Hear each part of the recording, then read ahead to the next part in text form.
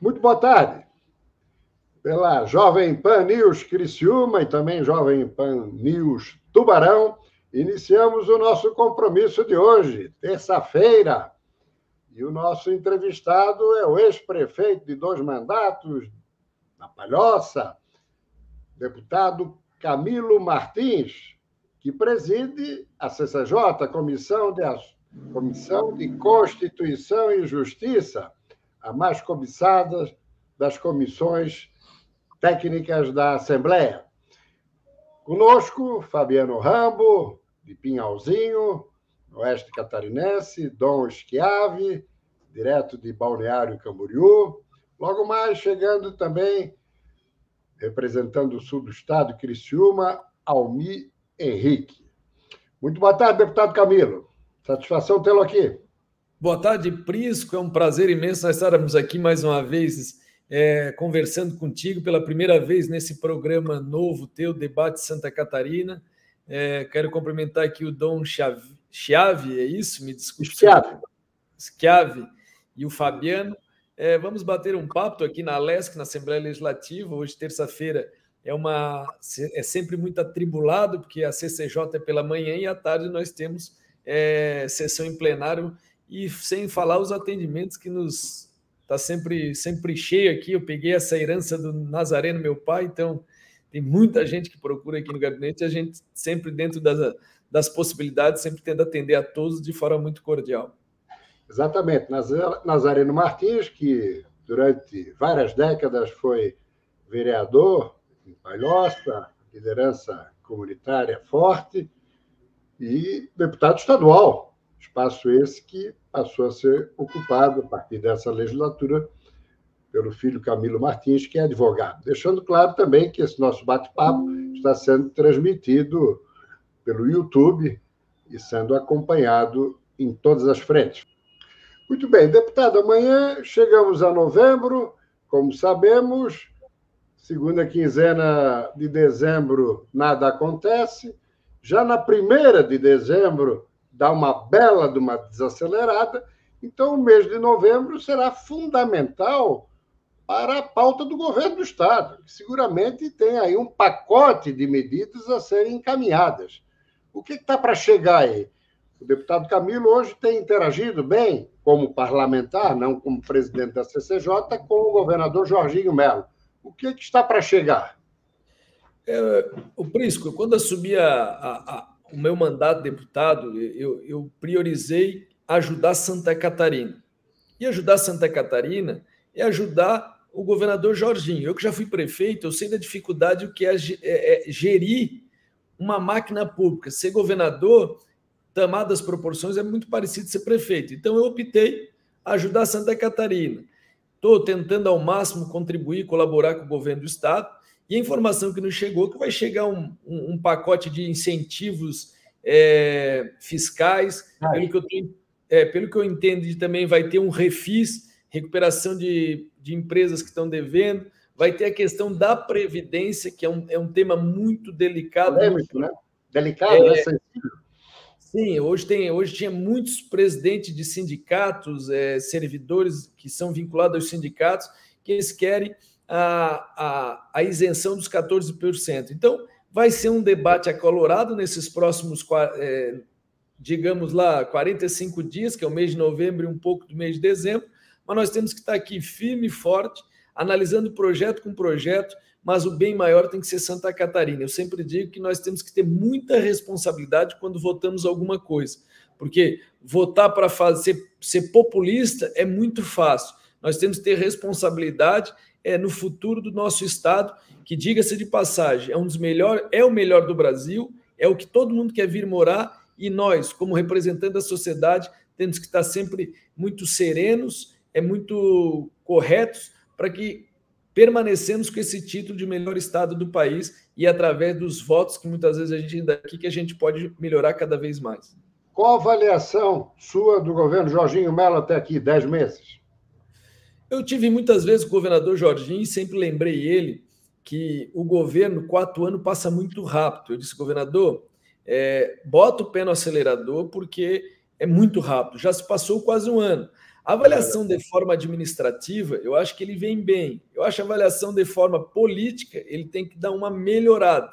Isso respeitando todos que estão aqui conosco do governo, mas politicamente ele tem que avançar um pouco mais, tem que estar mais presente é, com os deputados, o governo, os deputados se sentirem mais é, presentes no governo e vice-versa, também até na, nos demais municípios, uma presença política.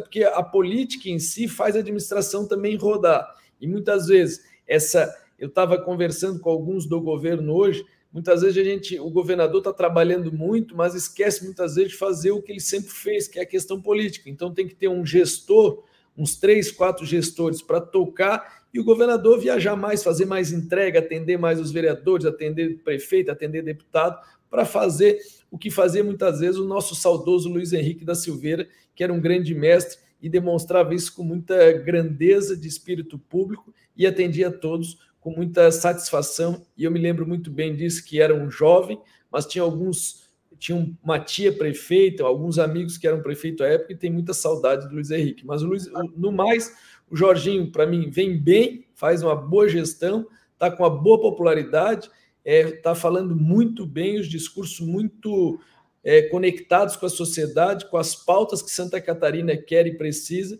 e eu acho que ele vai indo bem, mas só tem que dar uma melhorada na questão política, de mais a mais, eu só tenho que avaliar como um bom governador. Perfeito. Prefeito Eduardo Fretcher, seu sucessor na Palhoça, foi convidado a assinar a ficha no PL. Bem encaminhado?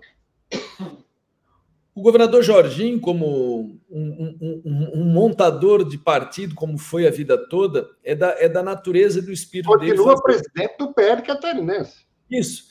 Fez o convite ao prefeito Eduardo. É, eu acho que essa movimentação vai acontecer, uma movimentação é, que está acontecendo. Eu, eu, como presidente estadual do Podemos, é, tenho um pouco de receio, seguro, mas é, uma, é um movimento natural pelo fato todo aconteceu no Estado o, o Jorginho é um governador é, muito atuante, o Eduardo é, já conversamos. Eu acredito que nos próximos dias pode ser que avance essa questão da ida dele para o PL. Pela, pelo governo do estado, ele já está no PL, mas agora depende também do prefeito Eduardo para tomar essa decisão, que é uma decisão pessoal dele, que eu falei, respeito a decisão dele, estarei com ele é, na cidade de Palhoça mas vamos aguardar. Eu acredito que nos próximos 15 dias vai ter uma decisão tomada e eu acredito que ele deva seguir para o PL. Eu, Camilo, continuo no Podemos, presidindo, montando partido, porque é onde eu me elegi, é um partido que me recebeu muito bem e eu tenho muito apreço. Muito bem. Antes de reintroduzir o Fabiano nessa questão de Podemos, que ele nos dava algumas informações antes da sua entrada, relacionadas lá ao oeste catarinense, o Podemos está perdendo força no plano nacional. Né? Já se fala até, quem sabe, participar da federação com cidadania e com PSDB. Mas aqui no Estado, a deputada Paulinha anda frequentando as reuniões do PSD, para onde já foi o prefeito de Bombinhas, Paulinho, seu marido. Camilo Martins, bem próximo de Jorginho Melo. Lucas Neves, eu não sei exatamente qual é a tendência dele. Como é que é? Vão ter que esperar a janela de março de 26? Como é que vai acontecer isso? É, nós conversamos com a deputada Paulinha, ela momentos diz que fica, momentos diz que pode acontecer de sair, ela não tomou ainda a posição em definitivo. É, o deputado Lucas Neves, juntamente comigo, nós temos um, um, afinamento muito bom aqui na Assembleia Legislativa. O Lucas é o nosso pré-candidato a prefeito da cidade de Lages, tem uma, um índice na, na pesquisa muito bom e eu acho que tem tudo para ele ser o próximo prefeito do, da, daquela cidade na região serrana, que é a maior com, cidade. Com, com apoio do PL, Jorginho Melo e Carmen Zanotto? Nós estamos em conversa com o Jorginho para tentarmos estar junto na, na cidade de Lares. Vamos estar discutindo isso, só o tempo vai dizer, mas eu acho que há grandes possibilidades. Mas a questão do, do Podemos é uma questão natural, montagem de partido não é fácil, é, nós estamos trabalhando muito, é, sabemos as dificuldades, mas é nas dificuldades muitas vezes que a gente tem que mostrar o diferente. É isso que eu tento levar para todos os cantos do Estado, que é um partido que não tem dono, é um partido que não faz intervenção municipal, o que é decidido é, pelo município é o que vai seguir, e é isso que nós tentamos demonstrar, que não há o, o antigo caciquismo, e sim um debate de ideias, uma democracia, e nós torcemos sim que a nível estadual tenha uma federação, umas fusões, para nós aumentarmos o nosso, o nosso tamanho, e aí sim nós podemos bater de frente nas outras frentes partidárias. Muito bem, para encerrar agora, deputado Camilo Martins, uma composição. Podemos, Rodrigo Coelho. Fernando Krilling. PL, Sargento Lima. Essa composição seria como? Para deixar para o segundo turno os três disputando individualmente ou já fazer um acordo agora?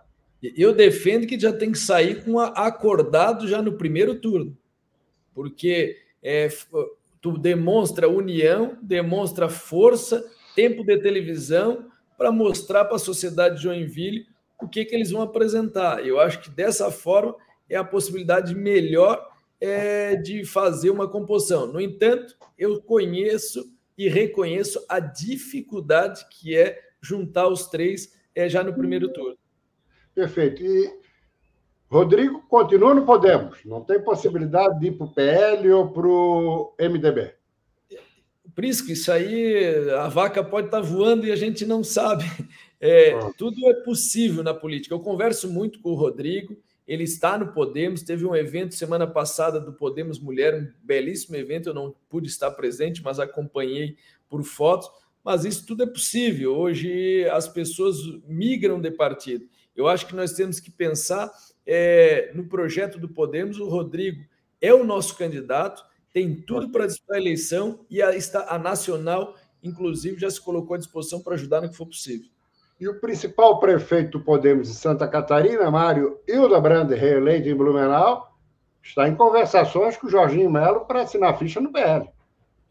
Inclusive, falei semana passada com ele por telefone, parabenizando a questão é, da, da, da Oktoberfest, passaram momentos delicados, ele foi muito cirúrgico e preciso nas suspensões das festas, da retomada das festas, que muito fácil é mandar fechar tudo, ah, tem que fechar, mas tem várias é, situações econômicas envolvidas, e o Mário foi claro. muito cirúrgico, eu quero parabenizar ele publicamente, já falei ele por telefone, e a gente conversa bastante.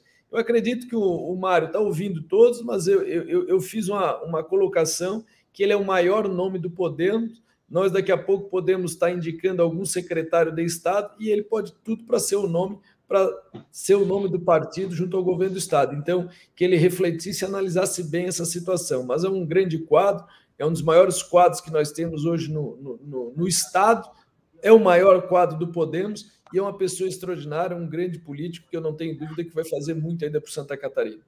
Deputado Camilo Martins, muito grato pela sua participação aqui no debate por Santa Catarina e até uma próxima oportunidade. Forte abraço. Eu que agradeço a todos vocês, um forte abraço.